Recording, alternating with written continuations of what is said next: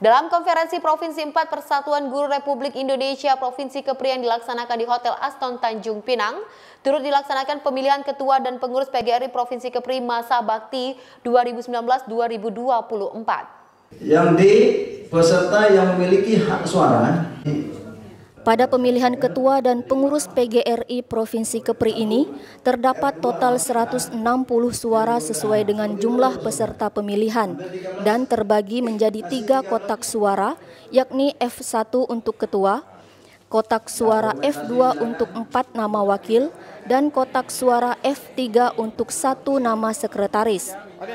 Pemilihan dilakukan dengan cara pemungutan suara. Para pengurus yang terpilih akan segera melaksanakan tugas dan tanggung jawab serta menyusun program-program PGRI Provinsi Kepri lima tahun yang akan datang. Pada konferensi Provinsi 4 PGRI ini, Rustam Effendi terpilih sebagai Ketua PGRI Provinsi Kepri. Diketahui sebelumnya menjabat sebagai Ketua PGRI Provinsi Kepri, Rustam Effendi pernah menjabat Ketua PGRI Kota Batam. 2024. Setuju?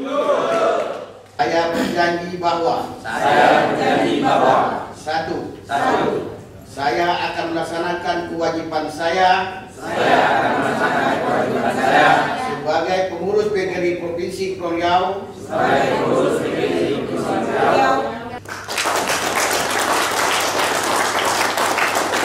Memilih kepengurusan PGRI periode selanjutnya yaitu periode 2019 2020 2024 serta seluruh penitia pengarah yang telah mengamanahkan kepada saya untuk memimpin organisasi besar ini. Anggaran dasar dan anggaran rumah tangga.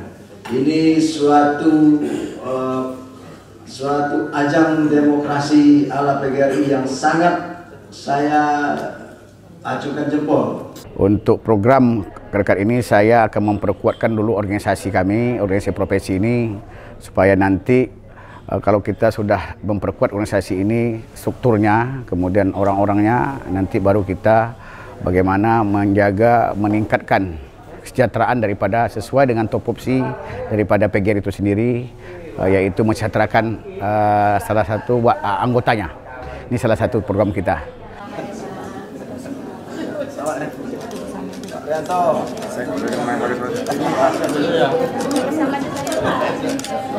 Tim Liputan TV Kepri dari Tanjung Pinang mengabarkan. Para PGRI!